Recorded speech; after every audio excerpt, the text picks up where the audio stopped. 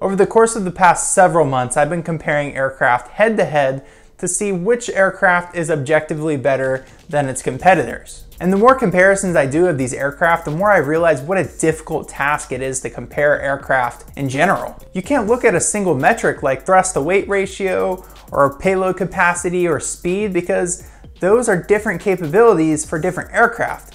A C-130 doesn't need to be as fast as an F-22 does. But just because an F-22 is faster, does it make it a better plane?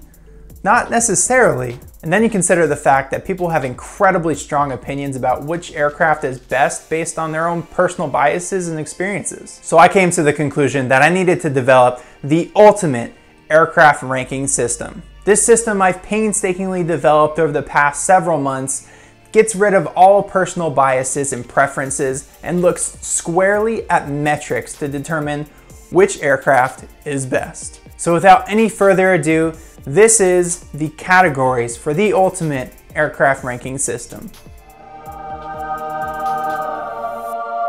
This was a successful unveiling. This system is broken into five different categories.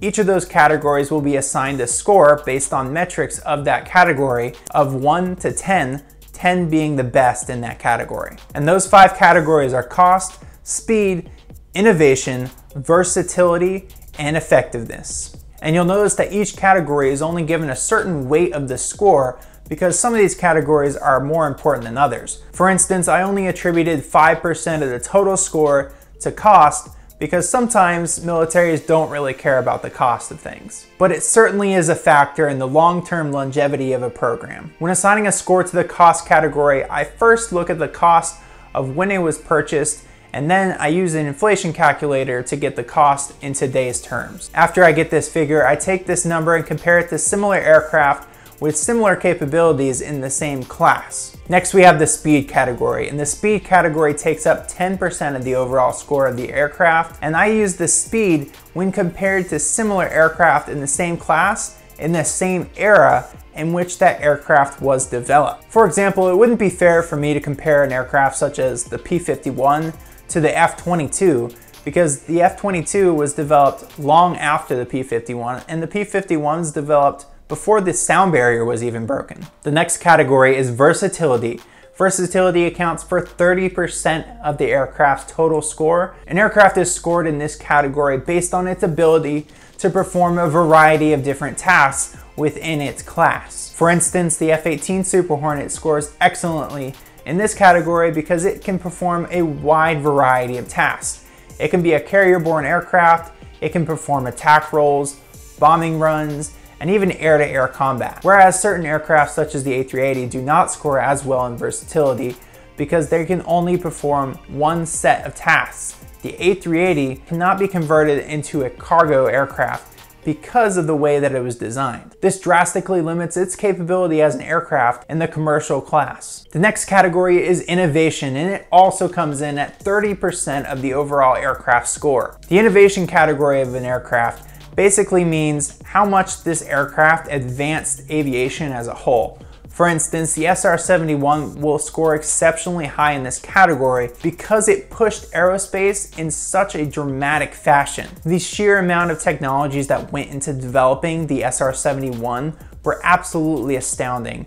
And so innovation is very high in the SR-71. For the innovation category, we're gonna be looking at specific metrics such as range, thrust to weight ratio, fuel capacity, payload capacity, all of these specific measures that are good metrics for seeing how innovative that aircraft was when compared to similar aircraft in the same class. Another important aspect of innovation is looking at the technology that was developed for the aircraft or new technology that was implemented into the aircraft. For example, the F-117 was the first stealth fighter jet.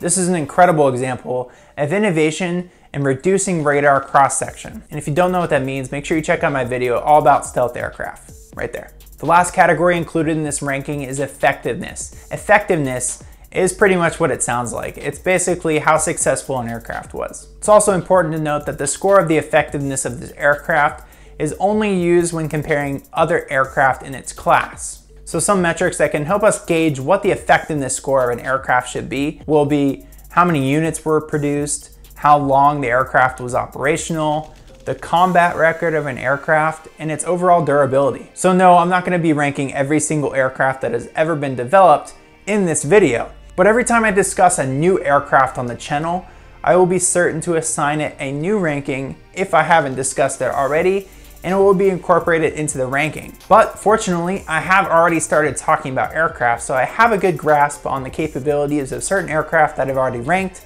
such as all the US fighter jets, the A380, and the 747. And in my next video, I'm gonna be ranking all the bomber aircraft that are currently in operation, but I am gonna hold those out as mystery until you watch that video coming out soon. So without any further ado, we're gonna start at the bottom of our ranking today with the Airbus A380. And as I mentioned in the previous video talking about why the jumbo jets are ending, the Airbus A380 was an incredible, innovative design. However, the program lost billions of dollars for Airbus the production line ended very prematurely. People stopped buying the aircraft a long time ago, and it's not even that old of an airplane. And even though it is the largest commercial jet to ever exist, it is certainly not the most effective aircraft. Next up on this list, again, we have a very innovative aircraft, but not a terribly effective one, the Harrier. And in 17th place, the F5 Tiger II, followed by the A-10 Thunderbolt II, the F-18 Hornet, the world's first jumbo jet, the Boeing 747, the F-16 Fighting Falcon, and number 11, the F-15 Eagle sporting the best air-to-air -air combat record in history, followed by its younger brother, the Strike Eagle. And after that, we have all three variants of the F-35, the Joint Strike Fighter, the Lightning II, followed by, on top of the list, the F-22 Raptor. Now, as I said, I'm gonna be continuously adding to this list and you can see the ranking every time I add one to the list, followed by its score on the right hand side. So if you're not already, make sure you subscribe to the channel and hit the notification bell so you don't miss my next video ranking all of the bombers currently in operation across the world. And in that video, I'll reveal how those aircraft stack up against these aircraft that I showed you today. So are you interested in becoming an aerospace engineer? If you are, make sure you check out my Patreon where I give you all of the tips on becoming an aerospace engineer, including the one and only aerospace engineering job search tool. Or if you want a career consultation, you want to see behind the scene contents, join in on a monthly live Q&A, all of that and more is found on my Patreon. Thank you so much for watching and Godspeed.